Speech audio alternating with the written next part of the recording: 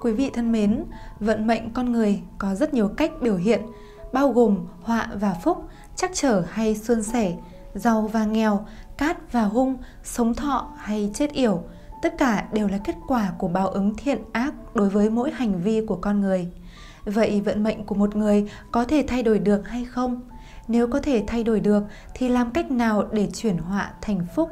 Xin mời quý thính giả chiêm nghiệm cùng chương trình hôm nay của Lắng Động Đêm Về.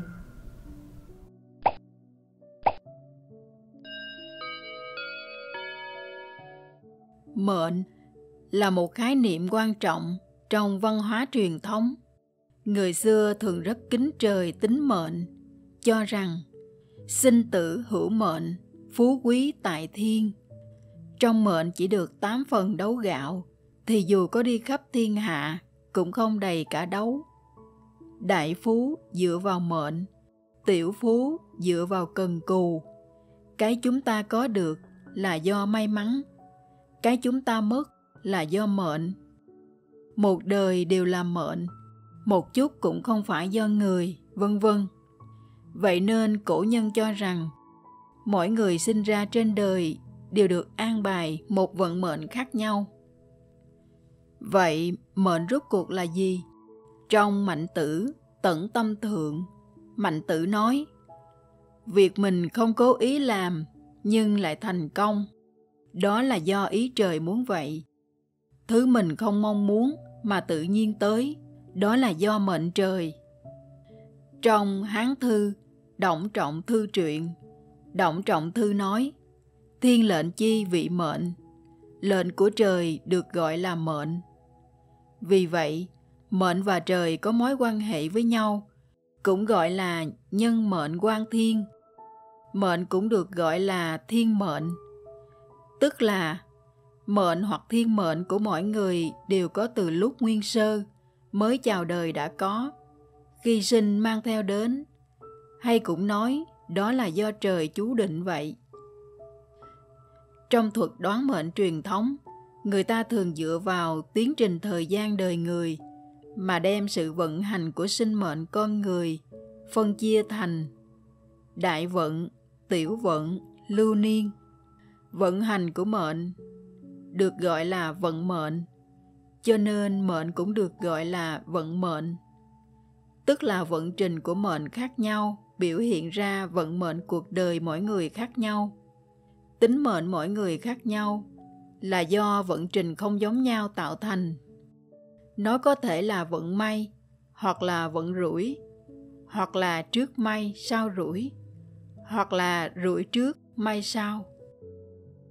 Trong các vận trình khác nhau của sinh mệnh sẽ biểu hiện ra chất lượng của mệnh khác nhau. Chất lượng thông thường của sinh mệnh là biểu hiện qua sự giàu nghèo, sang hèn, tuổi thọ, hạnh phúc, đau khổ, trắc trở hay suôn sẻ, đo lường. Bởi vậy, mệnh hay vận mệnh trên thực tế chính là quỹ đạo vận hành của sinh mệnh con người vốn đã được trời định sẵn từ trước. Văn hóa truyền thống Trung Hoa cho rằng vận mệnh của con người có thể biết trước được. Do đó người xưa rất coi trọng việc đoán mệnh. Điều này gọi là hiểu về số mệnh con người – trong luận ngữ, Nghiêu viết, khổng tử giảng, người không hiểu biết về số mệnh thì không phải là người quân tử. Trong luận ngữ vi chính, khổng tử cũng nói, con người đến khi 50 tuổi thì hiểu được mệnh trời. Vậy, vì sao cần phải hiểu biết về số mệnh con người?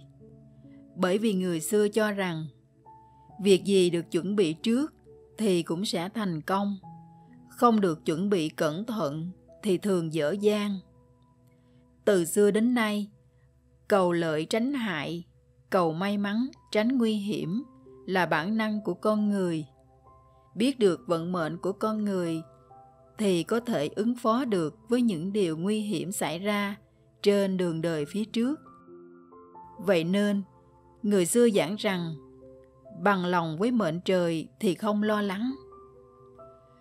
Kinh dịch trong tứ thư ngũ kinh được đặt ở vị trí số một trong các kinh thời cổ đại.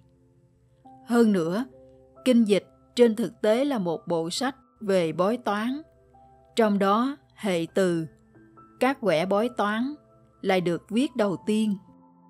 Khổng tử cũng đã dành cả đời để nghiên cứu về bộ kinh dịch này. Cho nên trình độ đã đạt đến vi biên tam tuyệt. Khổng tử đọc kinh dịch khiến lời sách đứt ba lần. Cuốn dịch truyện chính là những nhận thức tâm đắc trong nghiên cứu kinh dịch của ông. Đạo gia Trung Quốc có thuật đoán mệnh vô cùng phong phú, bao gồm lục hào, mai hoa, dịch số, tứ trụ bát tự, kỳ môn độn giáp, lục nhâm, tiết bản thần số, tướng mặt, tướng tay, vân vân. Vì sao lại gọi là đoán mệnh? Bởi vì văn hóa truyền thống Trung Hoa cho rằng hết thảy vạn sự vạn vật đều có định số. Đoán mệnh chính là căn cứ theo dịch số. Mệnh số mà suy đoán vận mệnh của con người. Trong sử sách của Trung Quốc có ghi chép rất nhiều cao thủ tinh thông về thuật số đoán mệnh. Ví như Khương Tử Nha, Gia Cát Lượng, Viên Thiên Can, Lý Thuần Phong, Lưu Bá Ôn, vân vân.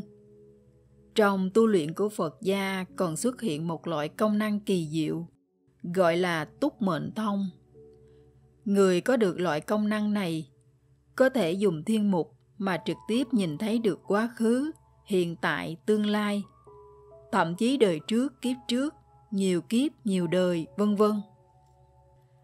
Vận mệnh của con người tuy là trời định, là đã được chú định sẵn từ trước, nhưng không phải là không thể thay đổi được.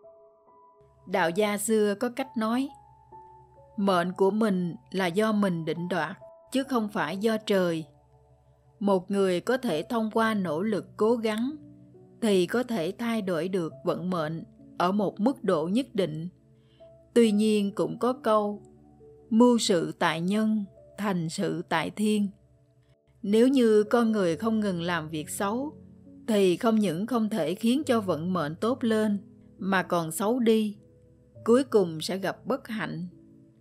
Vậy nên dưới tình huống thông thường, con người chỉ có năng lực tuân theo thiên mệnh, làm hết bổn phận tùy kỳ tự nhiên, thuận theo số phận.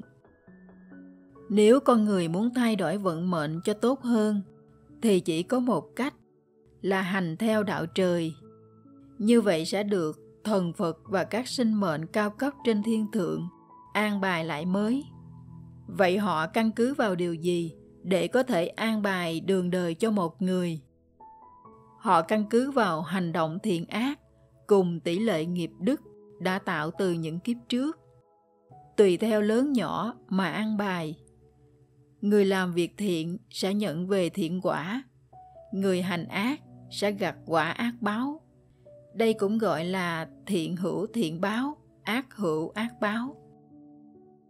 Vận mệnh con người có rất nhiều cách biểu hiện, bao gồm họa và phúc, trắc trở hay suôn sẻ, giàu và nghèo, cát và hung, sống thọ hay chết yểu. Tất cả đều là kết quả của báo ứng thiện ác đối với mỗi hành vi của con người. Vì vậy, vận mệnh của con người là do thần Phật chủ trì. Dựa theo thiên lý hay quy luật của vũ trụ mà sắp đặt đường đời cho mỗi người. Mệnh là thể hiện của quy luật hoặc phép tắc của vũ trụ trong tiến trình sinh mệnh đời người. Đã là như vậy, con người muốn thay đổi đường đời hay vận mệnh của mình từ xấu trở nên tốt cần tuân theo quy luật vũ trụ. Trọng đức hành thiện gắng sức sửa chữa lỗi lầm trước đây và tránh làm điều ác. Bởi vì đạo của trời là ban thưởng cho cái thiện và trừng phạt cái ác đây chính là tu luyện chân chính. Chỉ có tu luyện mới có thể thay đổi vận mệnh trở nên tốt hơn. Thông qua tu luyện mà thay đổi vận mệnh, được gọi là tu mệnh. Viên liễu phàm tác giả cuốn liễu phàm tứ huấn chính là một tấm gương điển hình của việc tu mệnh thành công. Cái gọi là đoán mệnh không bằng chấp nhận số mệnh, chấp nhận số mệnh không bằng tu mệnh đạo lý chính là ở chỗ này. Căn bản của tu mệnh chính là tu tâm. Tâm là căn nguyên của mọi hành vi mà con người biểu hiện ra. Người có thiện tâm thì hành vi rất thiện. Người có ác tâm thì hành vi cũng sẽ ác. Tu tâm chính là dựa vào phật pháp và đạo pháp mà thay đổi hết thảy những tư tưởng, quan niệm và hành vi không phù hợp của bản thân chỉ có tu tâm mới có thể thay đổi được tận gốc rễ, những thứ không tốt trong vận mệnh của con người. Người xưa có câu, hết thải ruộng phúc không ở đâu xa, mà ở ngay gần lòng người. Nói về mối quan hệ giữa tâm và mệnh, bài tâm mệnh ca viết rằng, mệnh tốt, tâm cũng tốt, phú quý mãi đến già. Mệnh tốt, tâm không tốt thì sẽ thất bại giữa đường. Tâm tốt, mệnh không tốt, trời đất cuối cùng cũng bảo hộ cho. Tâm mệnh đều không tốt, nghèo khó cùng phiền não. Cổ ngữ cũng lại có câu, tướng do tâm sinh, cảnh tùy tâm chuyển. Tu tâm có thể bù đắp được hết thảy những thiếu sót trong vận mệnh đã được an bài từ trước. Tu tâm có thể triệt để thay đổi và cải biến vận hạn trong đời. Trên thực tế thì không phải cứ người có vận mệnh không tốt mới cần tu tâm, mà người người đều cần tu tâm sửa tính. Người dù có vận mệnh tốt cũng không tránh khỏi quy luật sinh lão bệnh tử. Phú quý danh lợi khi sinh không mang theo đến, khi tử không mang theo đi. Sau khi hưởng hết phúc phận con người không tu luyện, lại tiếp tục nhập lục đạo, luân hồi trong tam giới không dứt. Vì vậy, đoán mệnh để cải biến vận mệnh mà con người bình thường nói đến. Trên thực tế, chỉ là thay đổi một chút cho cuộc sống tốt hơn mà thôi. Người muốn triệt để cải biến vận mệnh, bảo trì sinh mệnh vĩnh viễn, thì chỉ có phát đại thệ nguyện, khởi tâm tinh tấn gian khổ tu luyện mới có thể đạt thành chính quả, thoát ly khỏi lục đạo luân hồi trong tam giới. Có thơ rằng, nhân sinh như sóng cuộn, tan giữa biển vô thường. Muốn trở về cố hương, đừng quên chân thiện nhẫn. Sinh mệnh như sóng cuộn, ngục lặng kiếp luân hồi. Muốn thăng hoa về trời đồng hóa chân thiện nhẫn Cảm ơn quý thính giả đã ghé thăm Lắng Động Đêm Về được phát sóng vào 20 giờ tối thứ 3, 5 và 7. Quý thính giả thân mến, với nỗ lực truyền tải những nội dung văn hóa truyền thống được lưu truyền từ ngàn năm, đề cao các giá trị đạo lý nhân sinh, tín ngưỡng đối với thần Phật, Lắng Động Đêm Về, hy vọng quý thính giả có những phút giây chiêm nghiệm sâu lắng sau mỗi ngày làm việc bận rộn. Đừng quên chia sẻ cảm nhận của quý vị ở bên dưới để giúp chúng tôi thực hiện chương trình tốt hơn. Mến chúc quý vị một buổi tối bình an và ngon giấc.